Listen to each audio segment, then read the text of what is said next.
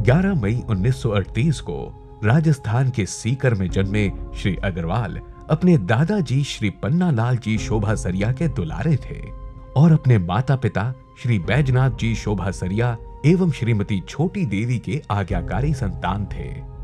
एक मेधावी छात्र होने के कारण शिक्षा के महत्व को समझते थे। इन्होंने वर्ष उन्नीस सौ तिरपन में एक साथ नौवीं और दसवीं, उसके बाद उन्नीस सौ चौवन में एक साथ ग्यारहवीं और बारहवीं पास की। सभी मुश्किलों से लड़ते हुए सफलतापूर्वक कैलकाटा यूनिवर्सिटी से उन्नीस में इन्होंने ग्रेजुएट की। उसके बाद 1960 में कानून की डिग्री प्राप्त की। फिर वे अपने पिता श्री बैजनाथ जी शोभा सरिया के साथ विनोद होजरी में शामिल हो गए। यह यार्न खरीद, कपड़ा बनाने, सिलाई और डिज़ाइनिंग का प्रारंभिक चरण था। After passing graduation 1957, I was at near about 17 at that time. So I started some, my trading business was already started by my father. लेकिन मैन्युफैक्चरिंग का मेरे को मन हुआ कि अपने को मैन्युफैक्चरिंग करना चाहिए तो at that age of seventeen I started Vinod hosiery in Darpura and Tagore street. मैं कॉलेज से आता था, वो भी किताब रख के हम लोग खाते थे। पहले तो अंगना वंगना साफ़ करते थे, पोछा लगाते थे, गद्दी जलाते थे। फिर अपना थोड़ा थान वज़न किया, कटिंग वज़न किया, ऐसे ही काम चालू हुआ। शुरुआती दिन बहुत चुनौतीपूर्ण थे और धीरे धीरे व्यवसाय को विकसित करने के लिए अथक प्रयासों की आवश्यकता थी। इतनी मेहनत भाई साहब ने की है, शायद होजरी इंडस्ट्री में किसी ने भी नहीं की होगी। लोगों को उन्होंने बहुत मेहनत करते हुए देखा है, मैंने भी देखा है। ज़बरदस्ती लोगों को माल बेच के आते थे, नहीं बिके तो मारा है। ऐसे कर कर के उन्होंने इतनी उपलब्ध इतनी बड़ा ये मुकाम हासिल किया है। इसके लिए बहुत मेहनत करनी पड़ती है, उन्होंने बहुत की है। ये जो टेबल कुर्सी आप देख रहे हैं, मेरे बड़े भाई साहब यहीं बैठते थे यार।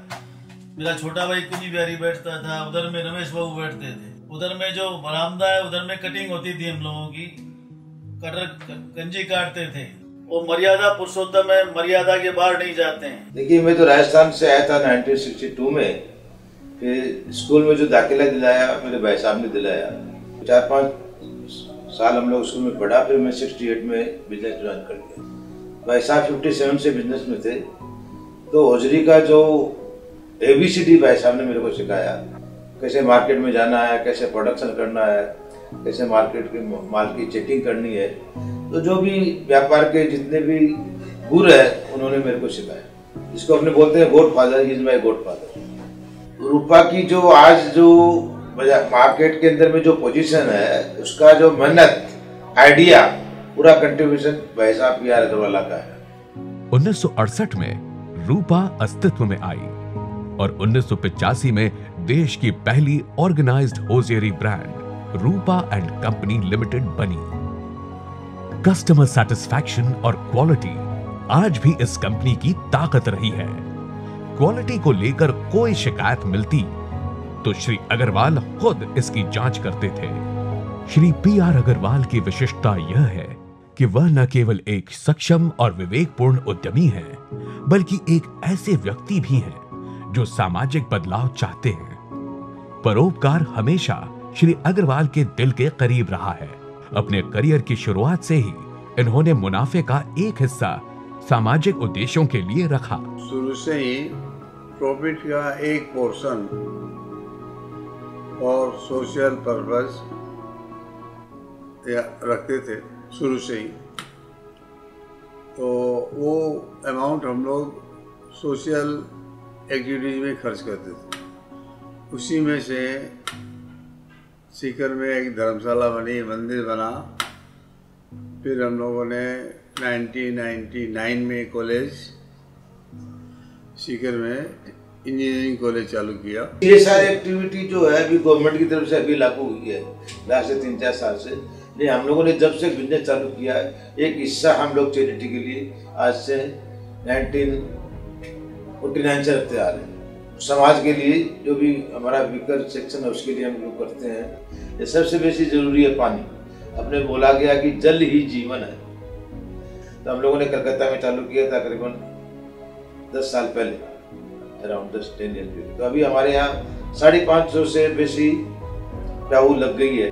निस्वार्थ परोपकारी योगदान के कारण श्री पी आर अग्रवाल को कई संगठनों द्वारा विधिवत सम्मानित किया गया है, जैसे उन्नीस सौ चौरानवे तक सीकर परिषद कोलकाता के अध्यक्ष पद पर रहे।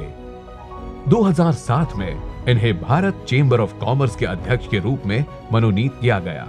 2011 में श्री अग्रवाल को एशिया रिटेल कांग्रेस द्वारा आयोजित रिटेल एक्सीलेंस के लिए सातवें रीड एंड टेलर अवार्ड्स में लाइफ टाइम अचीवमेंट अवार्ड से सम्मानित किया गया। 2014 में कोलकाता में कोलंबिया गणराज्य के मानद वाणिज्य दूत से सम्मानित किया गया। 2016 में अखिल भारतीय मारवाड़ी संघ के अध्यक्ष के रूप में निर्वाचित हुए। इन्हें 2016 में the federation of hosiery manufacturers association of India द्वारा होजियरी उद्योग में उल्लेखनीय योगदान के लिए लाइफ टाइम अचीवमेंट पुरस्कार से सम्मानित किया गया। 2018 में, इन्हें हिंदी दैनिक समाचार पत्र का प्रभात खबर द्वारा समाज उन्नयन हेतु राजस्थान गौरव सम्मान प्रदान किया गया। 2018 में, समाज और राष्ट्र की प्रतिष्ठा और पद को बढ़ाने के लिए उद्यमिता के क्षेत्र में उनके अनुकरणीय योगदान हेतु भारत निर्माण अवार्ड से सम्मानित किया गया। 2019 में, नेटवेयर उद्योग के 125 वर्षों के उपलक्ष्य में आयोजित सम्मेलन में वेस्ट बंगाल होजियरी एसोसिएशन द्वारा टेक्सटाइल क्षेत्र में नेतृत्व, उत्कृष्ट प्रदर्शन और क्षेत्रीय प्रबंधन में उत्कृष्टता के लिए हॉल ऑफ़ फेम से सम्मानित किया गया। जिस व्यक्ति के सहज, सरल हृदय में नित प्रति सेवा, त्याग तथा समाज हित में नव निर्माण की भावना का उद्वेलन होता है, वही व्यक्ति समाज में नामांकित होता है। उससे ही समाज यश शिखर पर ससम्मान पीठासीन करता है। ऐसे ही एक सेवा भावी सोच के संवाहक, संपोषक एवं संचेतक हैं श्री पी आर अग्रवाल।